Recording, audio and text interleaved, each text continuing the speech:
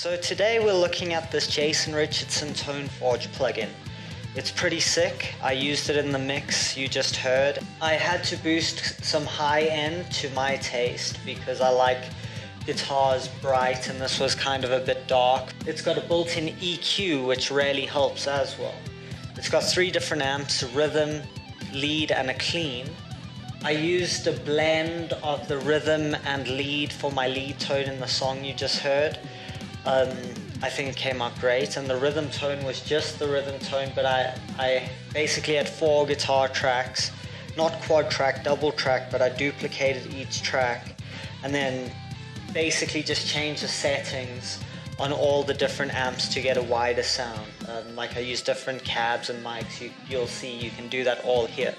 So let's get straight into the rhythm tone that's just my bridge humbucker.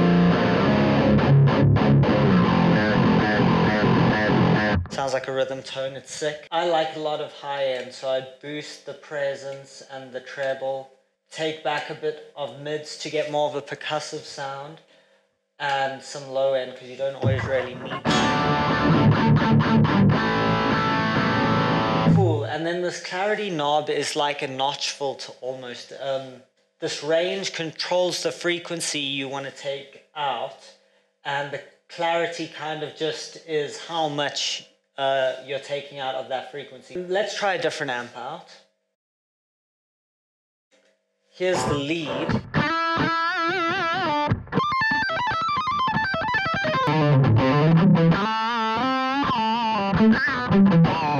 I think it sounds amazing. Uh, very smooth. Uh, I think for like faster. it works. Oh, it's also got this edge. The edge just adds a bit of.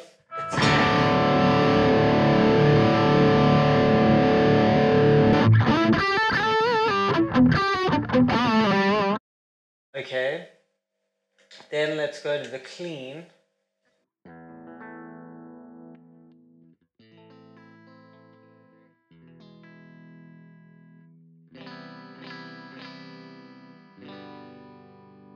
So it's very sterile, which is cool for a lot of this modern metal type clean sounds. There's that shimmer that just adds a bit of spice.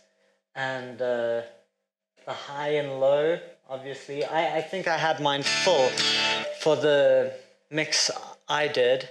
I, there's also this lo-fi thing that I put on it. It's like a lo-fi pedal in the effects. So there's delay,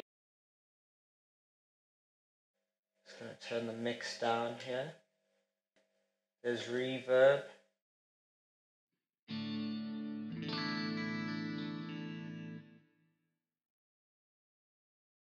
Turn the size a bit down and the mix. I like my delay and reverb very subtle. let's check it out the lead tone.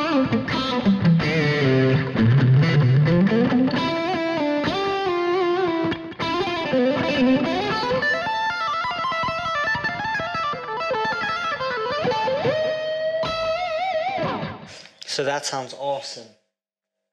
It's also got this EQ I was talking about. And I like to bring in high end, like I said, so let's bring in some 5K.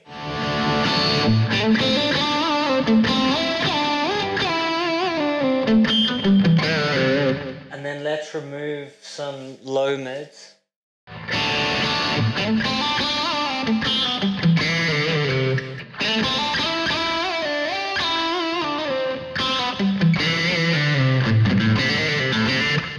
Like a lot of high end with that single coil sound. That's just kind of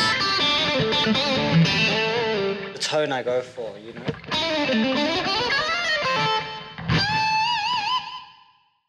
So yeah, and then you have this compressor that really kind of just tightens up the low end.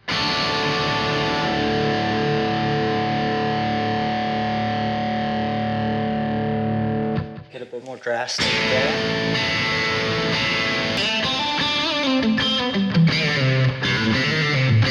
Makes gives more body to the tone and makes it feel more full. I really like what that does.